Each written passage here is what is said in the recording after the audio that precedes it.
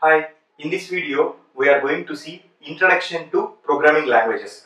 Normally I came here to teach you C programming language but before going to C programming language we need to know like what is a programming language, why it has been invented, then what are the main advantages of it. Normally we have been interacting with a computer. We know computers since many years, right? Actually the purpose of interacting with the computer is to get the things done. Suppose if we want to take a printout, okay, we will directly give control P like print option and that execute that instruction will execute the printer, okay, to enable the print, okay. Then we will go and take the printer. Likewise, when we want to scan uh, any document, when we want to browse any internet, these all the things we require a computer, right? Actually, if you observe clearly, what you are doing is you are giving an input instruction to the computer like opening a web browser or opening any document that is input instruction. Then computer understands that input instruction then it will open the document. Okay? This is generic thing. Normally a computer will do. Normally let us take this is a computer. Okay? You give input to the computer and it will give output. Normally for giving input we have some devices. For getting output we have some other devices. That is completely related to computer hardware. We are not going to discuss now. As of now just remember that we are giving input to the computer and we will get some output. Input we will give through either keyboard or mouse. Okay? Just see here. Now we know the advantages of the computer. There are n number of advantages. But the thing is when we can avail that advantages first we need to make use of that computer. Then only we are able to avail that advantages. But here the thing is computer is a machine. We are human beings. Both are different right? We are human beings. Computer is machine. How to interact with that? For that we require a medium or a mechanism such that whatever we are telling it should be able to understand and whatever it is telling we should able to understand. Okay? For that people invented different programming languages. Just like languages which we speak suppose if you take india there are several languages okay? Like hindi telugu tamil english marathi.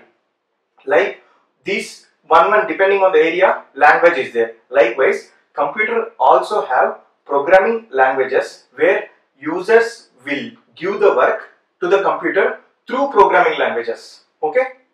Now actually the history started in like first generation of the computers 1951 like second generation like at that point of time.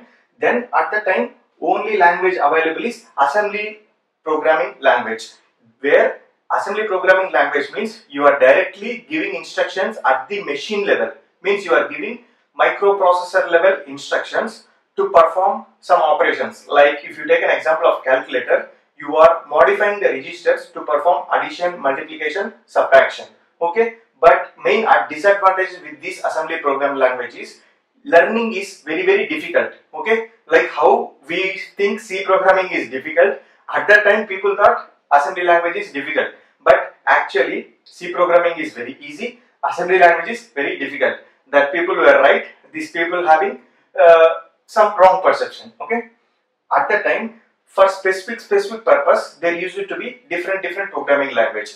For example for developing scientific applications we use people use fortran okay? Formula translation. For business applications people use cobol which is common business oriented language okay? So likewise for specific specific purpose people having different different languages.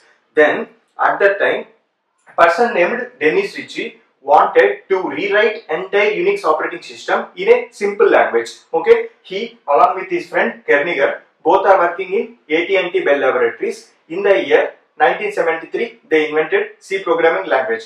But before 1973, for the five years, they struggled. They keep on worked. Okay, for inventing the C programming language. Okay, this is our hero today. C. Actually, just I am telling you suppose iphone x came. iphone x was launched on particular date. It's not like on that date it is launched okay?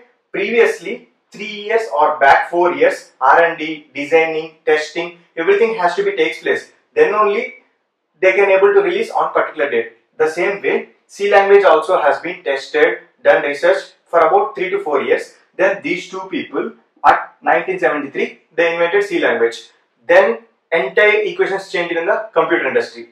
How? Because C is very very powerful programming language, high level language and it is procedural oriented and C involves each and every feature for developing Unix operating system or any other operating system. Suppose nowadays whatever embedded systems which we are using, embedded systems is nothing but which has hardware and software, okay? Like washing machine, okay, microwave oven, their sequence of instructions happen at machine level, okay? Those all embedded systems were designed by using C programming language or taken as a main base C programming language. And if you see networking devices, routers, these all made of C programming language only. Now you are getting the power of C programming language, right? It's not just a language. There are so much philosophy involved in C programming language. How does philosophy relate to C programming language? C is nothing but expressing yourself to the computer, right?